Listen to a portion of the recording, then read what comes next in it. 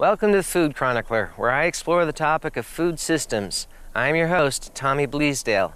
I grew up on farms and I have built gardens. I have a PhD in food systems, and I've worked in the food industry at both the local and regional levels.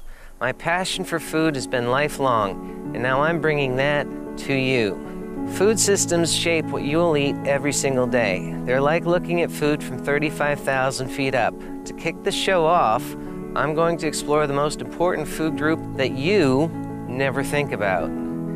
Anthropologists state that human domestication of cereal grains was the dividing line between hunters and gatherers and what we recognize as civilization today. In modern times, 50% of the human diet is composed of cereal grains. The human population of 7.5 billion is directly linked to our mastery in cultivating cereal grains. Yet, what are cereal grains? All of the cereal grains belong to a specific family that biologists refer to as Poaceae. Don't worry, I'll never use that word again, because you know it as grass. Yeah, roughly half of your diet is grass-based. Think of wheat, corn, and rice, to name just a few. Science also tells us that human evolution took place upon prehistoric grasslands. Most productive farmlands today are still located on what was once grasslands, and some 50% of the world's land mass is covered with grass, which can easily be seen from space. Yet, grass's evolutionary success was not a foregone conclusion. Grass almost didn't survive. Around 35 million years ago, grass was forced into a series of epic battles that would last literally millions of years, and it faced multiple opponents and overwhelming odds. Before humans, before our history began, there was grass's struggle. And if it wasn't for that struggle, the odds would be against you being here to watch this today.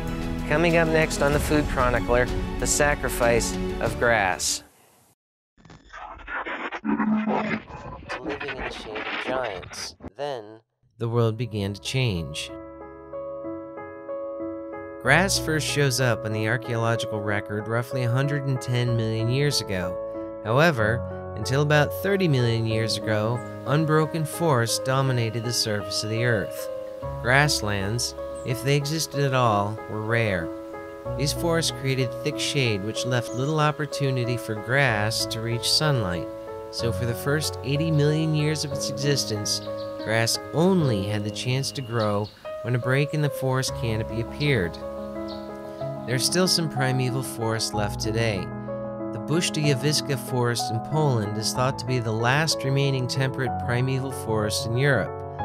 The population of Europe has been so high for so long that most forests have been cut repeatedly over the ages. But what makes the Bush Puszta even more amazing is that it gives us hints and clues as to what ancient forests probably looked like. And one of the things you're going to notice in these pictures is there is almost no grass. What grass there is exists only where trees have fallen or along the edges of rivers where trees have been drowned by floodwaters. The Amazon forest is an example of a primeval tropical forest. Here, we also find an almost grassless world. The Amazon jungle is one of the few places on Earth where grass species are still considered almost entirely unsuccessful. Grass simply could not effectively compete with the shade of the jungle.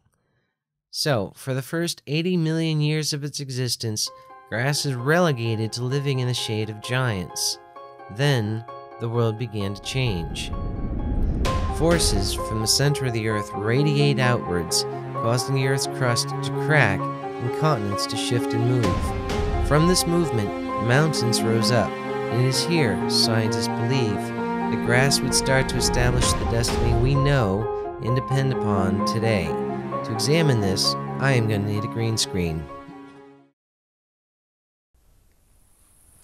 Mountain formation is an important step for grass because it is on the slopes of these mountains and the valleys beyond the grass and forests find themselves in rain shadows. Early rain shadows were fundamental to the development of grasslands. But wait, what is a rain shadow? To understand that, we need to know a couple of nautical terms. Centuries ago, sailors noticed something strange. Mountainous islands would have a wet side where it always rained and was forest dominated.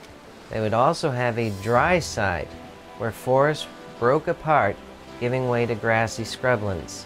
These mariners observed that the wet side of the island would be the side where the prevailing winds pushed into the mountain, and the dry side was protected from those prevailing winds by the mountain. They named the wet side of the islands the windward side, and the dry, protected side of the island was called the leeward side. Experts still use the vocabulary of windward and leeward to describe the phenomena of rain shadows. Clouds are essentially evaporated water pushed along by wind. Great, but what happens when a cloud strikes an object such as a mountain? The cloud has to rise up to pass over the mountain, and as it rises, the air gets colder and colder, causing the moisture to reach its dew point. Once it has reached its dew point, raindrops or snowflakes fall on the mountain below. Now that the cloud has lost a lot of its water, what remains of the cloud crosses over the mountain and descends into the valley. There, the air tends to warm again, making it less likely for the cloud to form more raindrops. So the windward side of the mountain will get most of the rain, and that is where you're likely to find trees. The leeward side will get less rain, and that is what we call a rain shadow.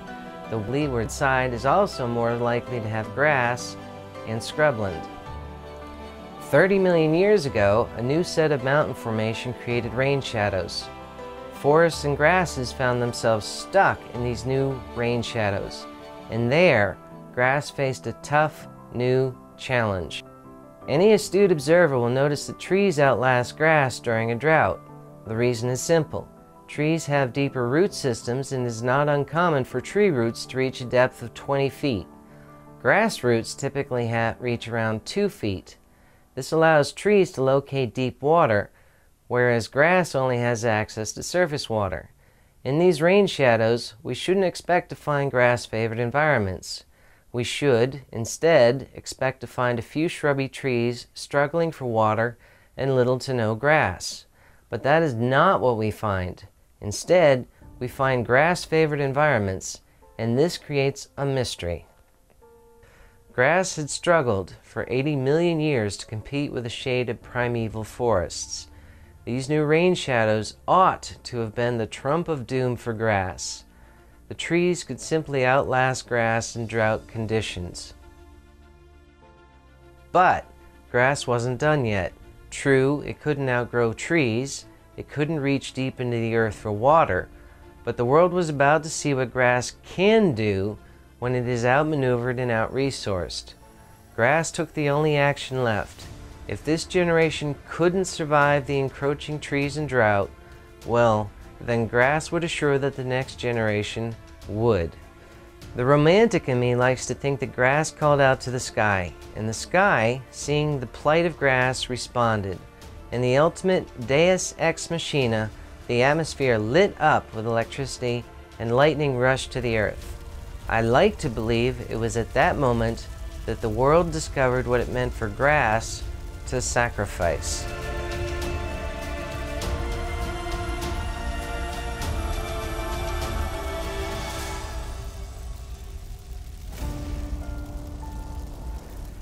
For grasslands, they're like the mythical phoenix. They perish in fire only to be reborn anew. What makes grass fires special is they burn fast and don't heat the ground to the point where it kills the grass roots. What a grass fire does is provide a lot of open space, free of trees and other competitors for the next generation of grass. Trees, bushes, and shrubs, which had all once soaked up the sunlight and water, are cleared away in the grass fire. And once the rains do come, the grass roots reactivate and a new meadow is reborn from the ashes of its ancestors. It turns out grass's evolutionary strategy was very different from that of trees who had invested in individual size and strength for survival. Grass's primary regeneration cells, called the meristem, are located at the bottom of the plant.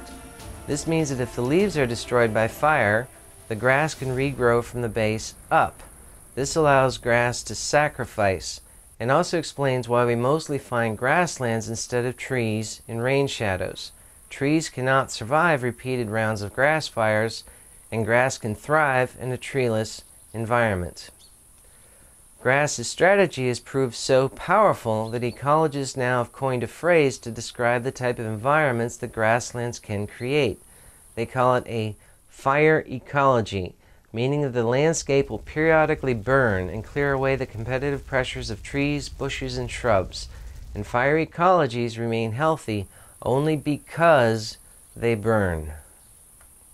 Where are some of the famous rain shadows formed by mountains? Probably the one you're most familiar with is the North American Midwest. The Rocky Mountains create the short grass plains of the Great Prairies. The Tibetan Plateau forms an extreme rain shadow, and that mountain range there is the Himalayas. The windward side of the Himalayas is jungles similar to the jungles of the Amazon basin, whereas the leeward side is grasslands and desert. Today we're surrounded by grasses, and 50% of our diet is made up of cereal grains which are grass seeds. Most of our farm animals live on grasses as well. We would not be here if it wasn't for the early struggle of grass. But grass's plight had only started. There was a lot more to come. If the first challenges were physical, continents moving, mountains forming, and growing rain shadows, the next two were, if anything, a lot more deadly. Next time on the Food Chronicler. Climate change makes news almost daily as we face a warming planet. We ask ourselves, what is going to happen and can we survive these changes? 35 million years ago, grass was confronted with a climactic shock so extreme it altered the trajectory of all life on Earth. In an event scientists now call the Grande Coupure, the Earth started cooling rapidly. The polar cap in Antarctica formed, crushing the forests at the South Pole under miles of permanent ice. As the cold started to reach outward from the poles, grass suddenly had a problem, as did everything alive. Quite literally, winter was coming. If you have any questions or comments, post them below. I'll be filming a video about the concept and science behind this episode next week, and I'll respond to you there. Share this video with anyone who you think will like it, and thank you for watching.